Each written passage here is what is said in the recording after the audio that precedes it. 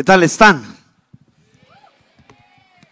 Yo recuperándome, pero dirían por ahí en mi rancho, mala hierba nunca muere. Así que yo quisiera que hiciéramos una oración al Señor para que el Señor nos hablara. ¿Cuántos dicen amén a eso?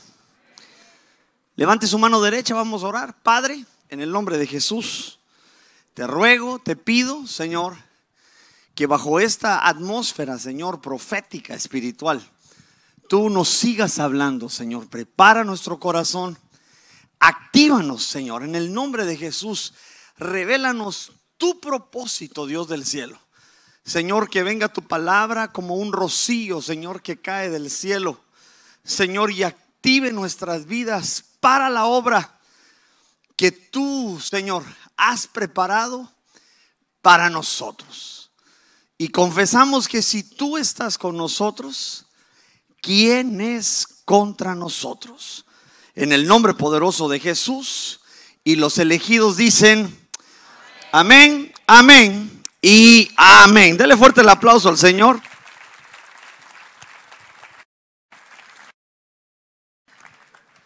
Yo como me siento un poquito en casa, si, me aceptas, puedo ser parte de usted en estos 54 minutos. No sé si me puedo seguir bajando. Pero como nadie me dice que no, pues yo digo que sí.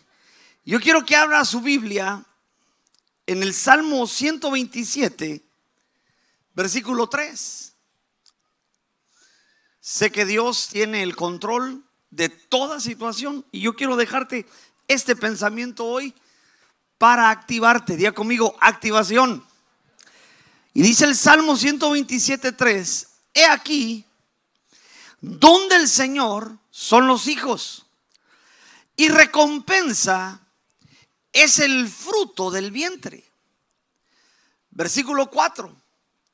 Como saetas en la mano del valiente, así son los hijos, esta versión dice, mancebos. Otras versiones dicen, así son los hijos tenidos en la juventud. Y yo para poner un poquito de fundamento y ya empezar a hablar con usted, me doy cuenta que en este salmo, en este salmo de ascenso gradual, de pronto David empieza a escribir acerca de la edificación. Diga conmigo, edificación.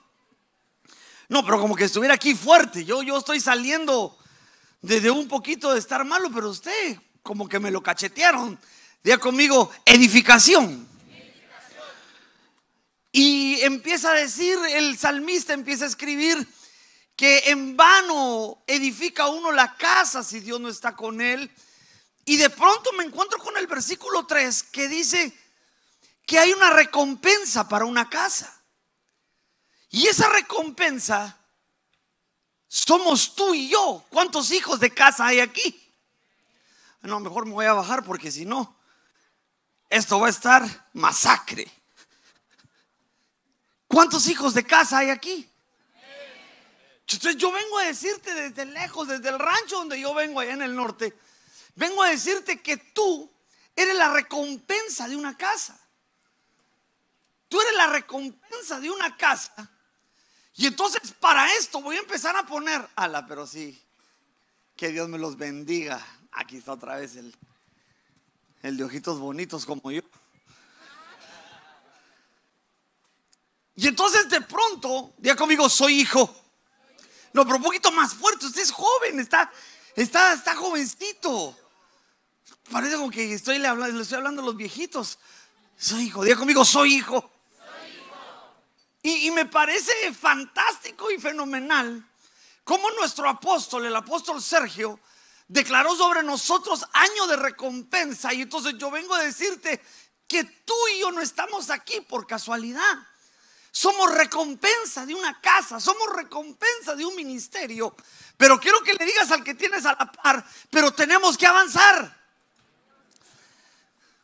ay, no me vayas a poner a hacer más cosas que mira el calor. Hoy no hay tanto calor como la primera vez que prediqué. Y te prometo que no me voy a tardar tanto. Pero es tiempo que tú y yo, como hijos de una casa, avancemos. Y entonces cuando el hijo se vuelve recompensa de una casa, Entonces el hijo empieza a evolucionar y se vuelve flecha.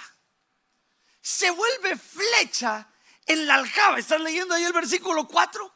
Es como saetas en la mano de un valiente. Diga conmigo, reconocimiento. A, a, esto lo quiero llevar. Y entonces de pronto, después de que te di la introducción, de pronto veo un profeta. Un profeta que se lo estaba llevando la tristeza. No sé si ustedes me entienden esta terminología. Desde ya les pido perdón porque no conozco mucho su terminología. Lo único que me puedo de ustedes es... Pero a este profeta dice la Biblia que se había enfermado. Ahora, ¿alguien aquí se ha enfermado? Alan, ustedes deben orar por mí si yo comí un poquito y casi me estoy muriendo, pero alguien, ¿alguien se ha enfermado alguna vez? Me imagino que todos nos hemos enfermado alguna vez. Pero a mí lo que me impactó de la escritura es que dice la Biblia, ahorita lo vamos a leer, que ese profeta sabía, mi hijo, sabía que la enfermedad que tenía era la enfermedad con la que se iba a morir. Y yo, aunque estaba un poquito enfermo, con un poquito de malestar, que tenía que el córrele que íbamos, y, pero ya, ya me puse bien. Yo dije, qué tremendo haber sido para ese profeta saber que la enfermedad que tenía era la enfermedad que lo iba a arrancar de la tierra. Acompáñeme. Porque le estoy poniendo introducción. Segunda de Reyes, capítulo 13, versículo 14. No se le olvide en el corazón el Salmo 127, porque esto es para ti, amado joven elegido. ¿Cuántos dicen gloria a Dios? Y dice Segunda de Reyes 13, 14 que Eliseo se enfermó de la enfermedad de la que moriría. Qué tremenda esa oración, ¿no? Yo, gracias a Dios, ya me tomé mis pastillas. Dios bendiga la enfermería. Entonces Joás, rey de Israel, descendió a él y llorando en su presencia dijo, fíjese, pues un rey llegó con el profeta y le dijo, Padre mío, Padre mío, carros de Israel y sus jinetes. Y Eliseo le dijo, toma un arco, diga conmigo, un arco. No, pero un poquito más fuerte, allá atrás, diga conmigo, un arco. Y flechas. Y él tomó un arco y flechas. Y Eliseo dijo al rey de Israel, pon tu mano sobre el arco. Y cuando puso su mano, Eliseo puso sus manos sobre las manos del rey. Y luego dijo, abre la ventana que da al oriente. Y él abrió. Y Eliseo dijo, tira. Y él tiró. Entonces Eliseo dijo, flecha de victoria de Jehová. ¿Alguien dice amén a eso?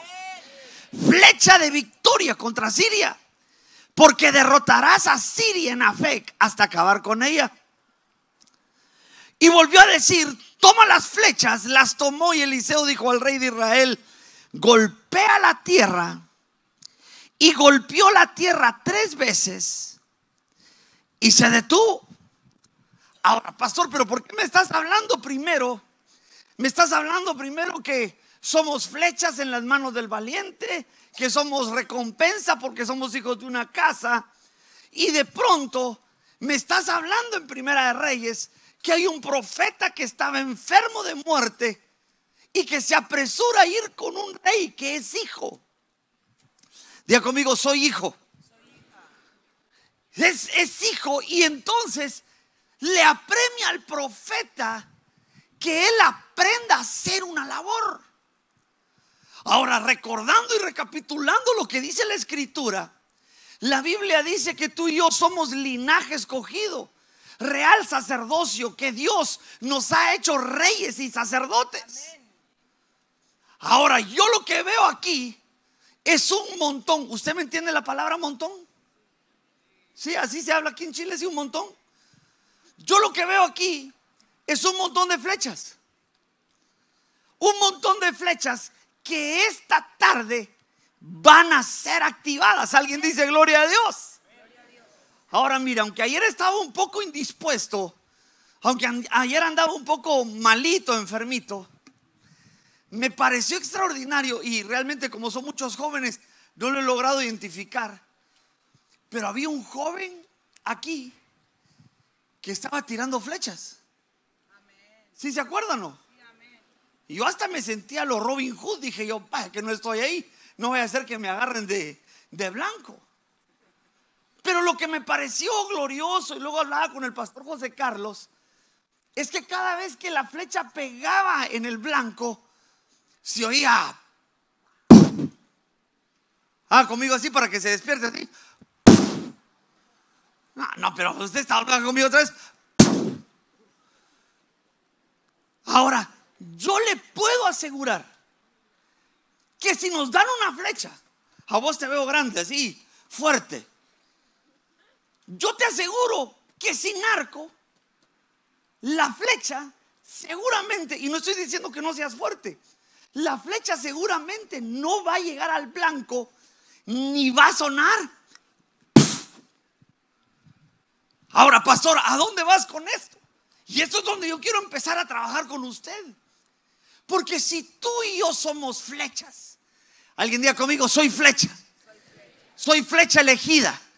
Si somos flecha elegida, debemos saber que tenemos que tener una persona dedicada a Dios para formarnos y para lanzarnos. Una flecha sin arco no cumple su cometido espiritual. Porque yo vengo a declarar sobre ti esta palabra.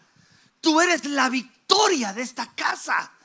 Tú eres la victoria de esta ciudad. Tú eres la victoria de este país.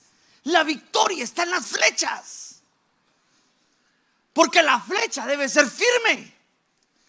La flecha debe pulirse. Debe labrarse la punta. Debe tener una frente de pedernal. La flecha debe convertirse en una flecha de victoria. ¿Cuántos dicen amén? Las flechas están capacitadas para cortar los aires y eso me habla a mí de guerra espiritual.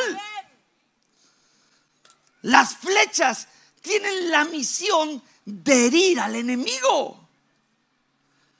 Pero lo más importante, mirar al hermano que tenés a la par, al joven, al muchacho, a la muchacha, y decirle, pero lo más importante, pero usted mira al hermano que tiene a la par y solo se le queda viendo así como, háblale, decirle, pero lo más importante, es que la flecha, mis amados muchachones y muchachonas, lo más importante es que la flecha debe ser lanzada. Si la flecha no es lanzada, no tiene uso, me permite la palabra tal vez un poco fuerte, la flecha se vuelve inútil. Ah, no, pastor, a mí no me estés diciendo eso. No, no, no, porque hoy, hoy tú y yo vamos a ser lanzados. ¿Cuántos dicen gloria a Dios? Ahora quiero que grite con toda su fuerza, porque aquí hay jóvenes elegidos. Digan conmigo, yo voy a ser lanzado. Ah, ya se levantó. Ahora fíjese pues, si algo me gusta predicar en estos campamentos y en estos congresos donde el Señor me da el privilegio y merecido de poder predicar su palabra, es que realmente no los conozco. Realmente bajo, me gusta estar abajo porque en 50 minutos lo puedo ver y... Pero no convivo contigo. No entiendo de tus frustraciones. No sé en qué atmósfera tú vives. No, no, no, no entiendo ni, ni conozco las luchas que tú tienes, pero el Espíritu Santo sí las conoce. Y muchos de nosotros creemos que hay flechas, dirían por ahí, vamos a ver si me aprendí bien, si me aprendí bien el dicho chileno, que vienen con la marraqueta bajo el brazo. no, sí. Tengo unas ganas de comer marraqueta, pero me tengo que portar bien. Pero fíjese pues, a veces en la iglesia pensamos, y ojalá que no se vaya a enojar conmigo, no se enoja, ¿verdad? A veces pensamos, hermano, que un apellido.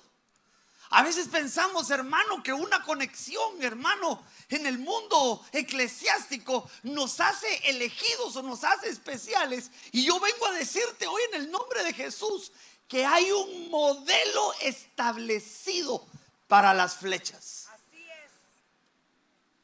Porque en el sistema de gobierno reconocemos autoridad. ¿Cuántos dicen amén a eso? Pero en el sistema de la gracia, todos somos iguales. Todos somos lavados con la sangre del cordero. Y entonces fíjese, ¿por qué te digo esto? Porque tú tienes un creador. Génesis 1:26 dice de la siguiente manera. Entonces dijo Dios, hagamos al hombre a nuestra imagen, conforme a nuestra semejanza y que tenga dominio. Diga conmigo dominio. No, pero un poquito más fuerte. Diga conmigo dominio. Y que tenga dominio sobre los peces del mar, las aves del cielo, el ganado y en toda la tierra. Y sobre todo animal que se desplaza sobre la tierra. Ahora yo vengo a darte esta buena noticia porque el Evangelio son buenas noticias. El fabricante nuestro hizo un producto excelente y puso en ti una virtud, ya conmigo una virtud. Y esa virtud es que tienes dominio. Pastor, barajéamela un poquito mejor.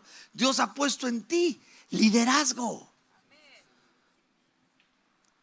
No naciste, jovencito, jovencita, no naciste, mi amado hermano, para pensar que la vida es injusta, que nadie me quiere, que mejor me como un gusanito formamos al hombre a la imagen del fabricador que es Dios y Dios depositó en ti dominio. Dios depositó en cada flecha que está aquí un espíritu de liderazgo. Ay, gracias hermana. Vieron que me estaba derritiendo, ¿verdad? Ahora volteate con tu hermano así con una sonrisa pero no tan sarcástica, pero con una sonrisa. Y dile, Dios ha puesto en mí espíritu de liderazgo. Dios ha puesto en mí esta, esto, soy importante. Somos un producto hecho por Dios que tiene un fin y tiene un propósito. Ah, no, yo pensé que usted iba a decir, amén, amén, hermano. ¿Y cuál es el fin? Que vivas derrotado que vivas esclavo de tus pasiones, que vivas siempre caminando los mismos ciclos. El propósito y el fin por el cual Dios te hizo es victoria, victoria, victoria, victoria sobre tus enemigos. Eso es algo que a mí me emociona. Y entonces, ahora, pastor, pero entonces, me estás diciendo que yo tengo un espíritu de liderazgo. Yo digo, gloria a Dios. O sea que ahora no tengo que hacerle caso a nadie. Porque yo puedo con todo, no te preocupes, pastor. O sea, yo y Dios mayoría absoluta. Ay, Dios te bendiga, gracias. Me vieron sediento. Me voy a tomar un traguito.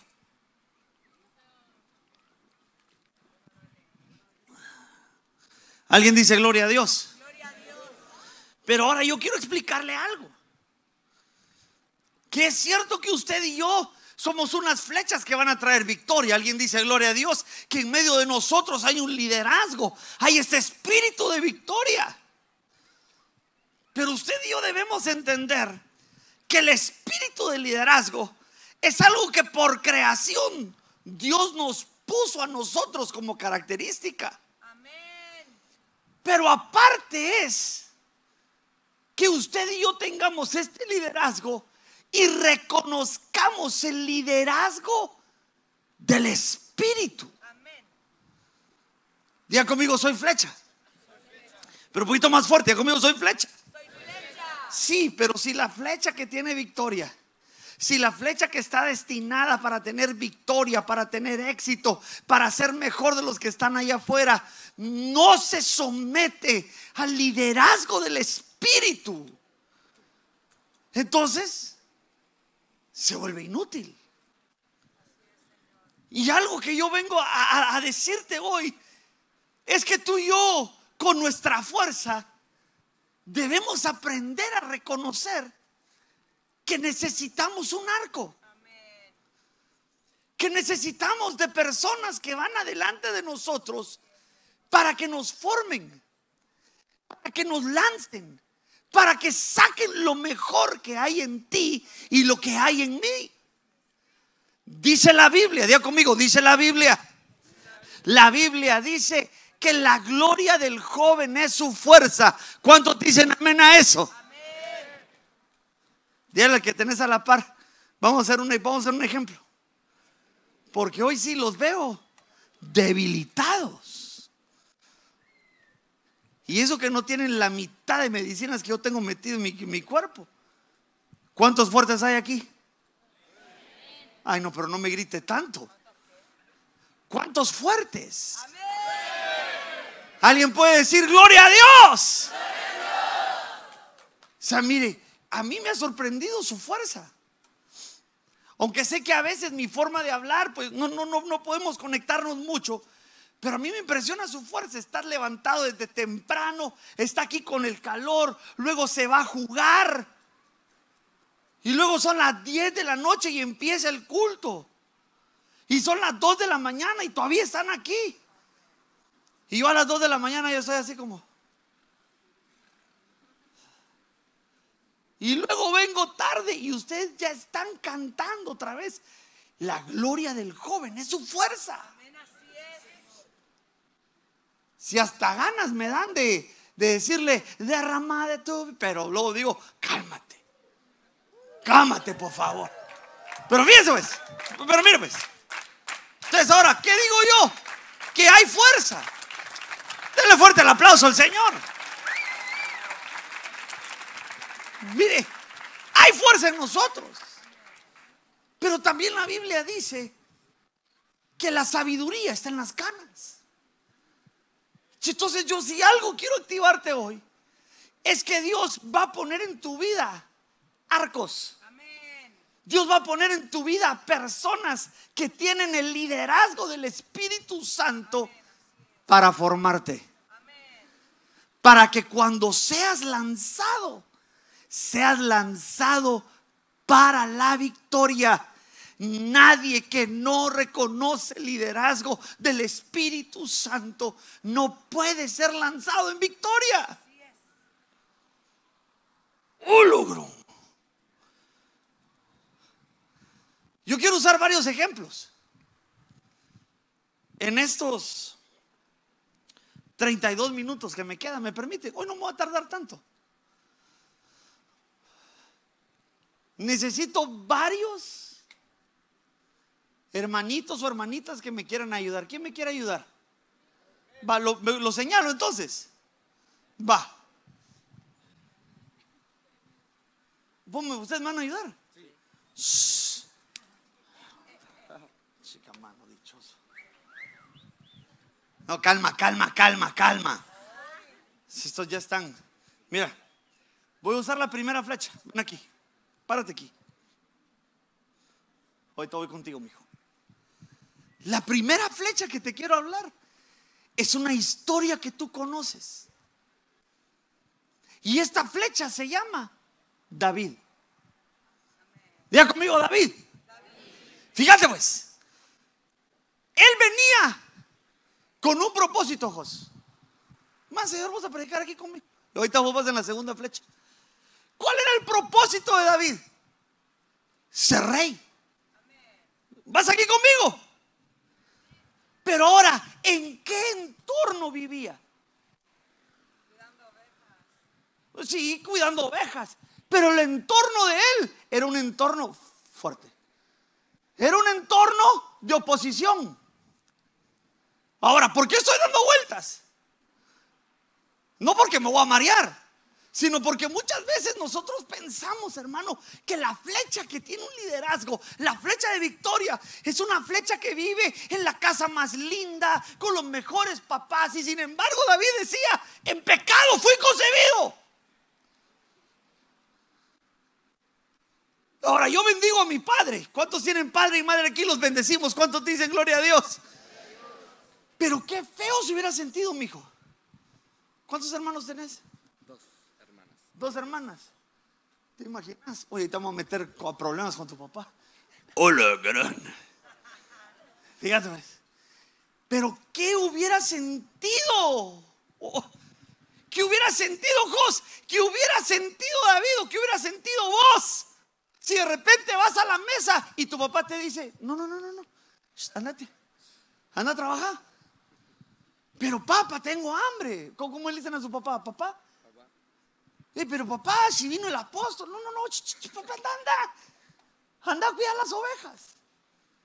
Era un ambiente de oposición, mira, por eso.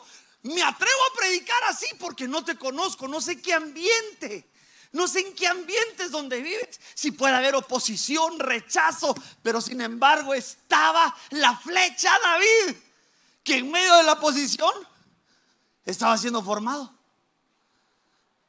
Ahora diga conmigo fidelidad. No, pero dígalo fuerte, diga conmigo fidelidad. Y hago así porque aquí está. Porque para él ser una flecha que lo lanzaban, necesitó tener al liderazgo del Espíritu en Saúl. Aló. ¿Cuántos amamos a nuestros pastores? por lo menos miéntame porque allá atrás están. ¿Cuántos amamos a nuestros pastores? Lindos, ¿no? Dormidos son bien lindos. Yo te vengo a decir que no puede haber un David si no hay un Saúl. Y aquí me bueno, aquí se van a enojar conmigo los pastores, porque a veces los pastores tenemos que hacer una función de Saúl. Porque estábamos formando en esta flecha que estaba dedicada para ser rey. Le tenemos que formar la fidelidad. Correte para la derecha así, como Matrix así. Así, mira, así. Le tiró el trancazo. No, no, te voy a pegar, mi joven, tranquilo. Solo así como la Matrix, así, hacete parada, así. Le tiró. Hermano, mire, David era un hombre sanguinario. ¿Estás aquí conmigo? David, ¿algún violento por acá? ¿Violento? Pero no violento desde el. Alguien que en el barrio, ahí en la comuna, ¿qué, ¿qué me está viendo? O que van al Colo Colo con... Uy, ya me metí a problemas, ¿verdad? Que... Pero fíjate, Que te ve... ¿Y, tú qué sos? Es una persona violenta. Pastor, ¿pero por qué me estás diciendo eso? David, Saúl le dice, si querés a mi hija, siempre puses. Y David dice, te voy a traer 200. Ojalá que no haya ningún David aquí, hermano, pero mire, violento, sanguinario. ¿Usted entiende qué es esta, esta seña?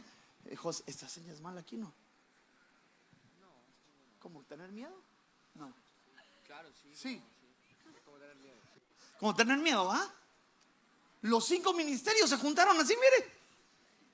Dice la Biblia, fíjese, pues no voy todavía con, no voy todavía con David porque luego me falta aquel. Pero dice la Biblia que Saúl sobresalía sobre sus hermanos. Sus hermanos le llegaban al hombro. Saúl era un hombre alto, ¿sí o no? Claro que sí. Y sin embargo vio al gigante.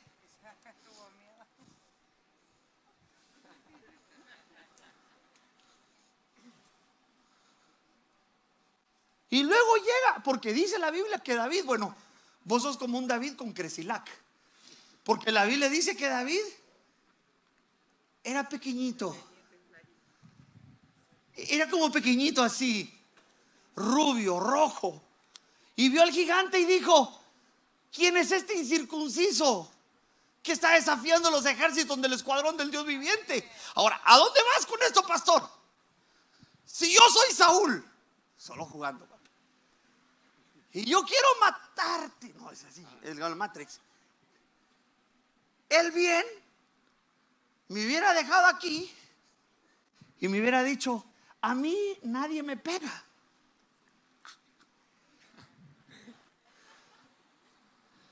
Pues, pero fíjate, pues pastor, pero ¿a dónde me está siguiendo? Formado en la oposición. Su líder lo atacaba, lo golpeaba y él, como podía, se hacía el quite. Hasta los hijos de él le decían, mátalo ya. Y David decía, mi mano no se va a levantar contra el ungido. Entonces ahora perdóname. David tenía flecha de victoria, claro que sí, pero necesitaba un arco que le enseñara fidelidad. No estés pensando que si el pastor te trae entre ceja y ceja, si tu líder te anda formando muy duro, no vayas a pensar que es porque te quieren matar. Es lo que necesitamos. Dios está poniendo en nosotros un espíritu de fidelidad. Alguien dice gloria a Dios. pero fíjate, ahora vengo con vos. Leche. ¿Cuántos Davides hay acá? Ahora yo veo otra flecha. Entonces fíjese, David necesitó un arco que lo formara. El arco de Saúl lo formó para que él fuera rey y aprendiera de fidelidad. Diga conmigo, fidelidad. Ahora, veo otra flecha. Una flecha llamada Eliseo. ¿Para qué venía Eliseo? Es que, pastor, no, he leído la Biblia. No, no me digas eso. ¿Cuál era la función del profeta? Ya se lo dije yo, era profeta. David rey. Pero Eliseo venía para hacer una flecha profética. Fíjate pues. Pero el entorno de David de oposición. Pero ¿y cuál fue el entorno de Eliseo?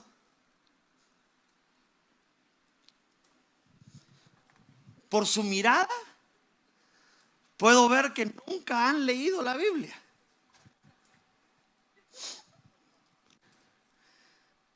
¿Cuántos aman a sus pastores?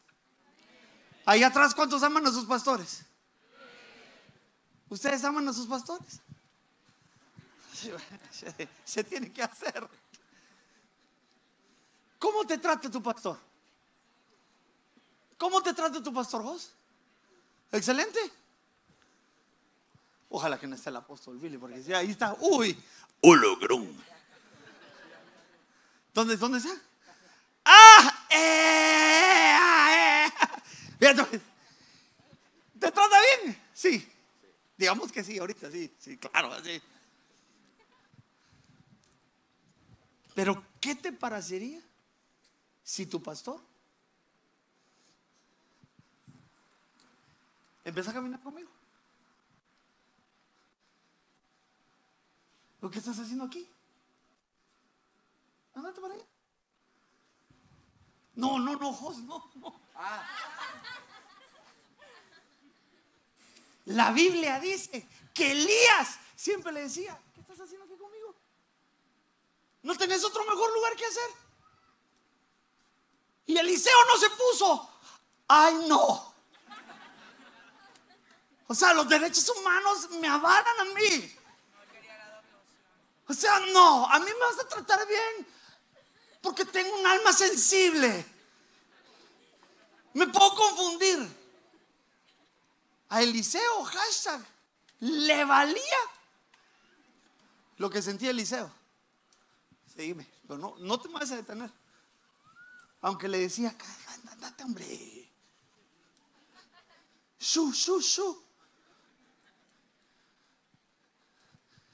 Hermano, ¿sabe cómo es eso? Mire cómo José está caminando conmigo. ¿Acaso a alguno le gusta ser rechazado? Porque realmente Eliseo, ay, ya quédate aquí. Eliseo vivió bajo una atmósfera, no de oposición, sino de rechazo. Y entonces ahora, si algo me gusta predicar aquí es que como no los conozco, pero a veces, hermano, somos flechas medio débiles que andamos. Ay, no, es que se me queda viendo mal. Me gritó el pastor.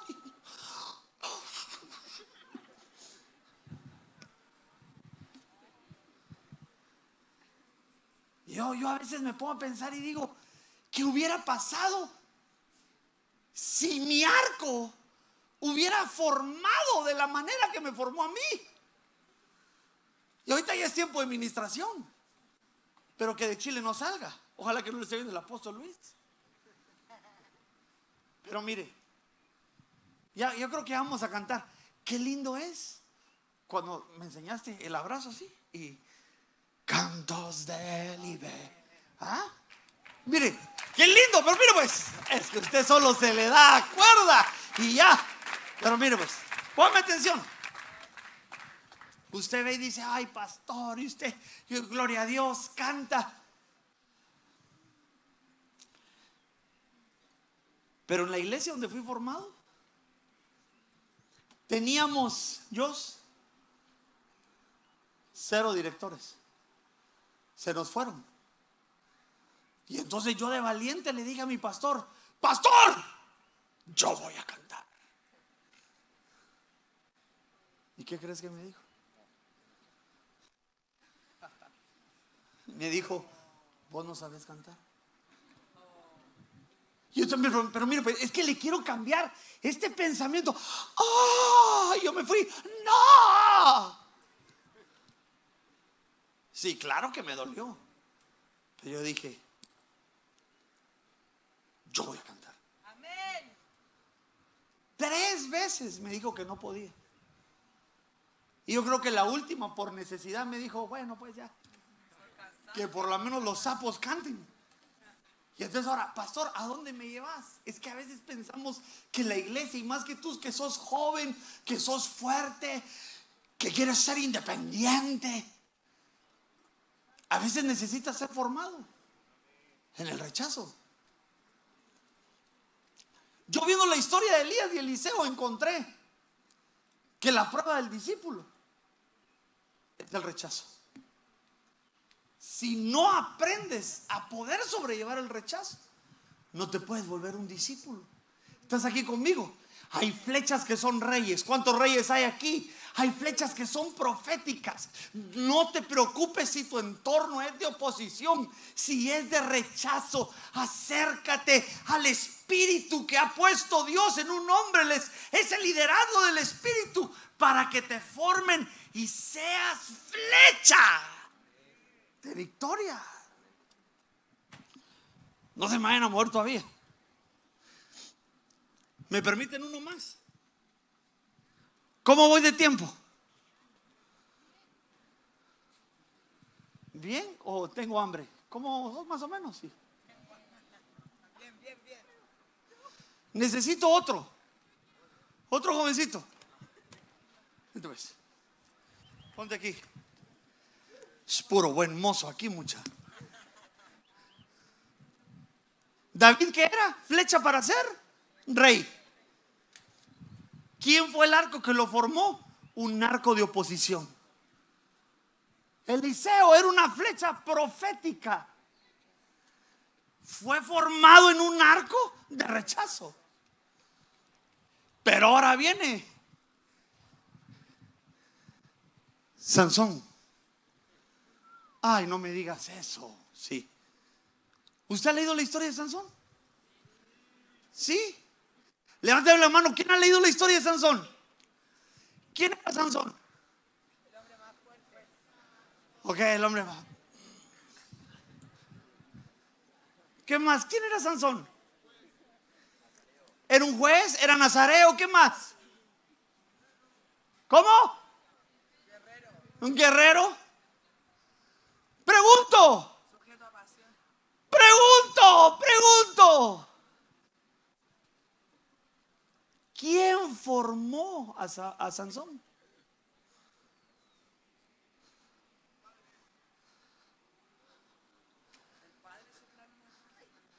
Ah, fíjese pues. Ya me voy a poner feito, pero igual, si me cuadra el apóstol Billy, pues me aguanto. Pero dice la Biblia que cuando se le anunció la esposa de Manoa que iba a tener un hijo, el ángel fue claro con ella y le dijo, no quiero que estés tomando, porque el hijo que traes adentro es apartado para mí. ¿Vas aquí conmigo? Tú venías apartado para ser juez, para derrotar a los enemigos. O sea que Dios te va a un nieque masacre. Pues, mire, desde el vientre. Mijo, desde el vientre venía para ser puro uch pim pim. Esa no me la entienden porque esa es bien autóctono de mi país. Pero sin embargo, su entorno, la formación que tuvo de padre y de madre, fue una formación, me perdona la palabra que le voy a decir, aguada. Sansón, no veo en la escritura que haya tenido un padre que le diga, ¿qué estás haciendo en los viñedos? ¿Está aquí conmigo? Allá atrás alguien está aquí conmigo. ¿Cuántos caprichosos hay aquí?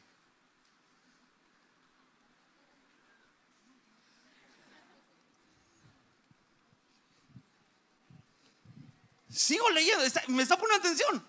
Sansón, bueno, las edades aquí todavía no son para amigas o amigobias, ¿no? Sí, no, no, están muy jóvenes. Sí, ok. Pero me imagino que lo natural, diga conmigo, lo natural. No, pero dígalo fuerte, lo natural.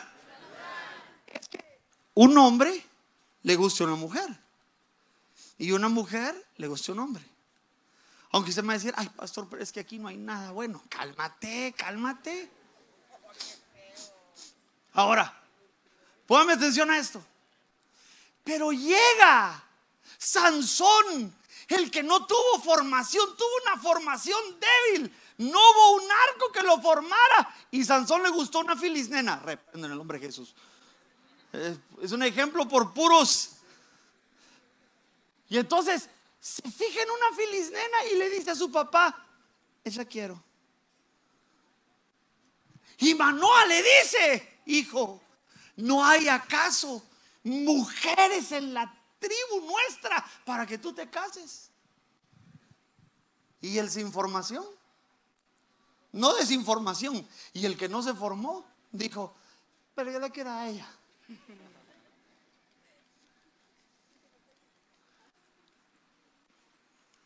Y entonces a mí esto me preocupó. Porque ella conmigo, aquí no. No, pero dígalo fuerte, hasta allá atrás, diga conmigo, aquí no.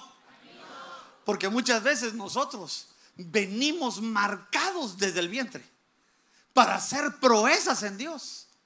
Y sin embargo, no reconocemos el liderazgo del Espíritu Santo y nos volvemos flechas caprichosas que no saben distinguir entre lo santo y lo profano, que no saben que Dios había puesto un límite para tu vida vas a estar entre Sora y Escalón.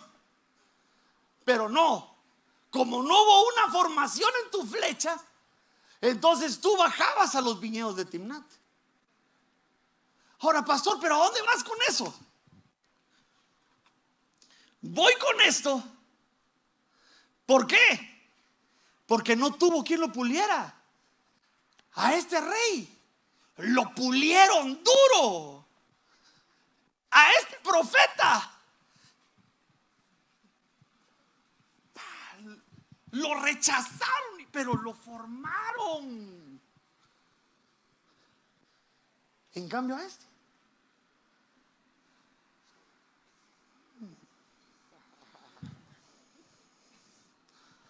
Ay, mi niño. Es que no sé si usted me está entendiendo el mensaje. Mire, pareciera que el, que vivía en la oposición no tenía futuro. Parecía el que vivía rechazado mentalmente no tenía futuro. Y este que lo trataba así. ¿Eh, bebé? ¿Qué quiere comer? ¿Filisteo? Ok, Filisteo quiere comer.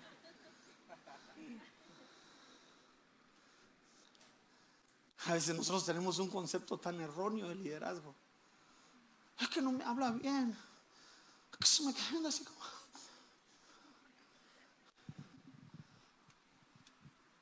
Yo considero, esta es una opinión, yo considero que si Sansón hubiera tenido un arco, ¿qué tan sensible sos del pelo? ¿No? Es puro, es para fines educativos. Si hubiera tenido Sansón alguien que le agarrara así el pelo así, ¿a dónde vas? ¿Qué estás haciendo? Camina, camina para allá, así. Eh, ¿A dónde vas tú? Yo voy donde yo quiero. Ven para acá.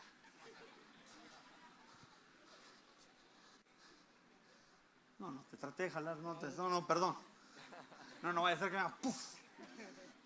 Pastor, ¿a dónde ibas con esto? Si él hubiera tenido un arco que lo formara, te aseguro que se hablaría más en la Biblia de esa flecha que derrotó a los enemigos. Claro que agarró una quijada de asno y mató a mis filisteos. Claro, si él venía dedicado para hacer eso, pero no logró su comisión existencial porque no tenía un arco. ¿Me permites uno más? Ocho minutitos me queda. ¿Alguien, ¿Alguien me ayuda con el piano? Antes de que me manden al pianista, mejor lo mando a llamar yo. Y mientras viene, me tomo un traguito, que ya tengo boca del oro.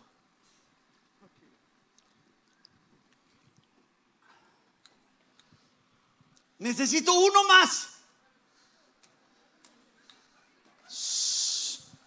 No, hombre, pero es que aquí apóstol Billy aquí. Si estuviéramos cantando fútbol así, yo estaría el más chaparro. Oh, qué tremendo. Ah. Que no, que mis hijos estén así de altos como vos.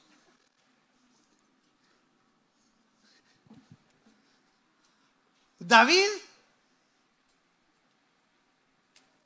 necesitó una flecha de oposición. Un arco, perdón, de oposición. El profeta, formado en el rechazo para que cumpliera su comisión. Sansón con grandes dones pero siempre tratado sin formación. Ay, mi pequeño bebé. Pero con eso termino. Porque veo otra flecha. Y es la flecha de Samuel. Dile que tienes a la par. Esta está tremenda.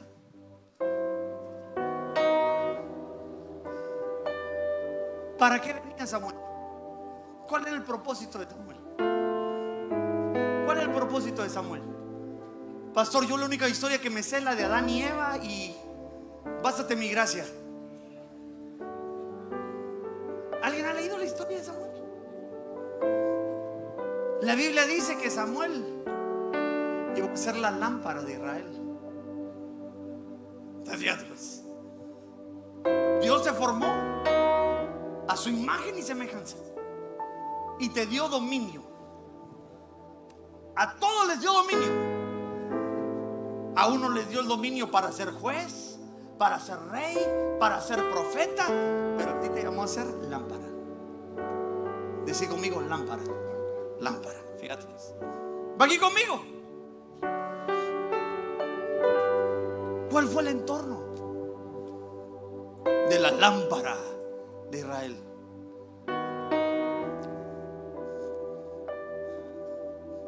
Yo creo que la próxima vez vamos a jugar esgrima bíblico porque lo veo así como, cuéntame pastor, cuéntame que no he leído eso. Dice la Biblia que el papá de Samuel era un hombre hogareño.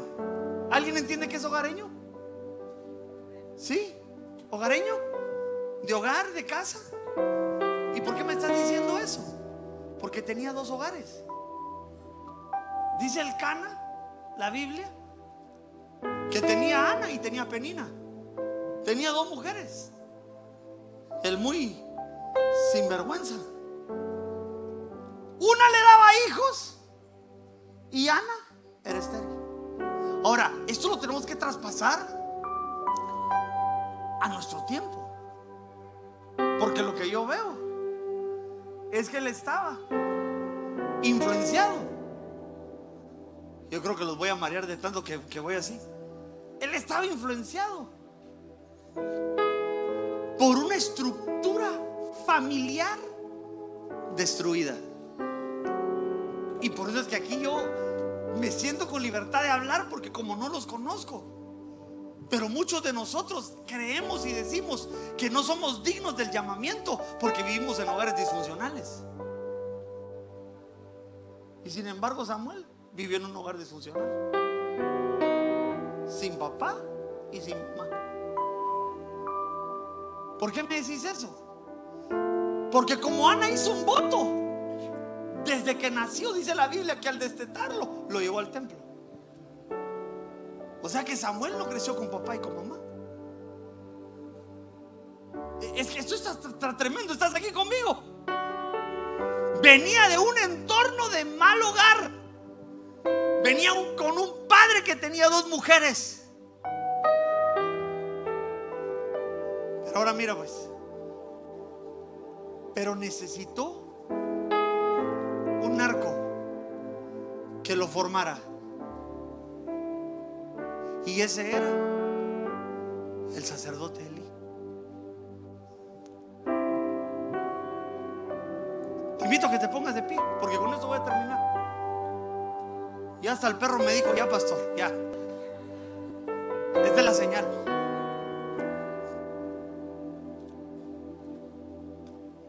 Tal vez esto te ayude. Te active. Pero si hay algo que me impactó de Samuel, es que sabiendo que él iba a ser la lámpara del Señor, la lámpara para Israel, nunca descubrió las debilidades de su líder. Nunca. Y dicen que Elí era viejo, ciego.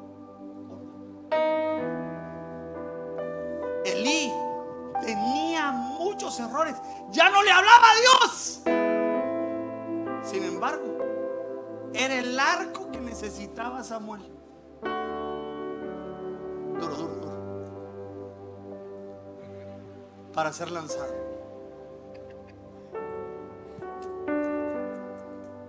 Tengo una mala noticia que darte, aunque el Evangelio son de buenas noticias. Me gustaría decirte que nosotros los que hemos sido llamados a ser pastores, a ser vasos útiles para ustedes, temo decirte que somos perfectos, que tenemos pies de barro. Y sin embargo, como él sabía lo que Dios lo había llamado, a él no lo llamaron a verle los pies a su líder, sino lo llamaron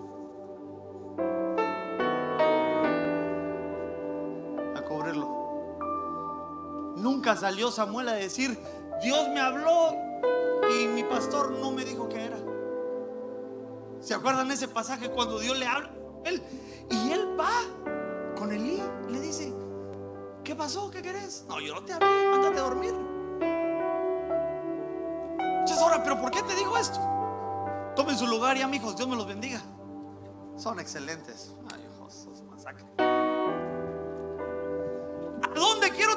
Con esto? Porque hay flechas aquí. ¿Cuántos dicen amén? que necesitan un arco. Necesitan reconocer el liderazgo del Espíritu.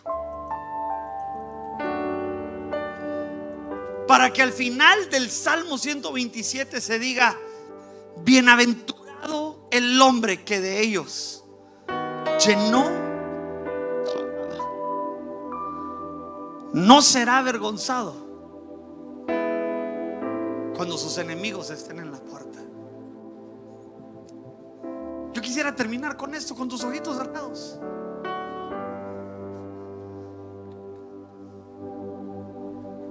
Ya que tu apóstol, el apóstol Billy está aquí. Yo le voy a invitar a que, apóstol, perdón, yo siempre tan abusivo. Me hace favor de pasar. Que yo quiero hacer un acto profético con tus ojitos cerrados.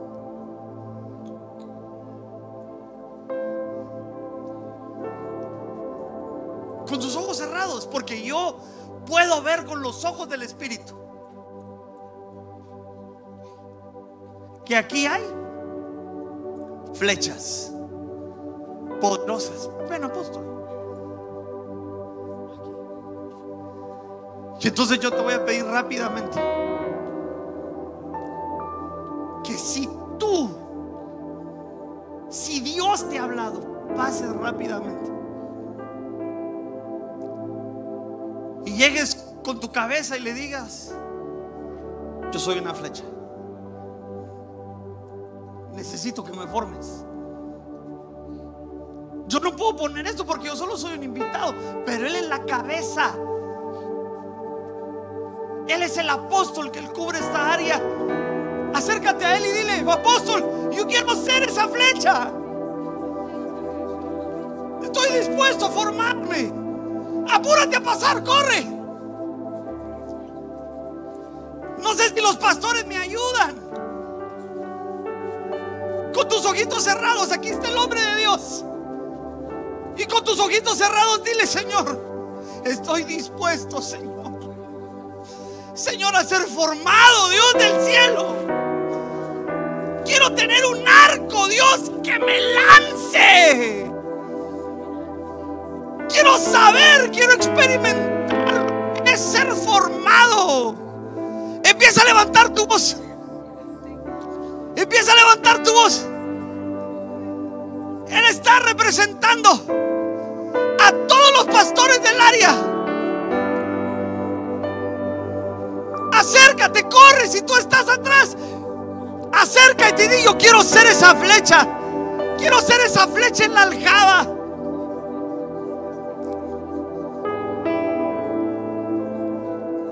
Pero te invito a que levantes tu voz. Señor, aún en la oposición, Señor, quiero ser formado. Señor, aún en el rechazo, quiero ser formado. Señor, no quiero vivir sin formación como Sansón, Señor. Quiero someterme. Sé que tengo liderazgo. Sé que tú me has formado para ser flecha de victoria. Pero necesito liderazgo del Espíritu. Erra, quita, trarra, shira, baba, baba, baba, baba, baba, kira. Sigue, sigue. Porque aquí está tu arco.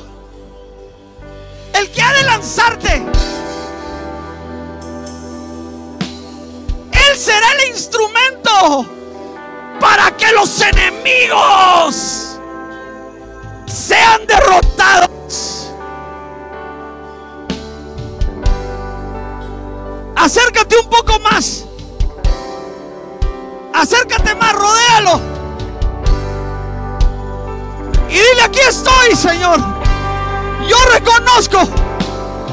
Yo seré la recompensa. Yo seré la recompensa. Rashira, baba, baba, baba, baikira. ahí los hijos, las flechas que llegarán al corazón del enemigo.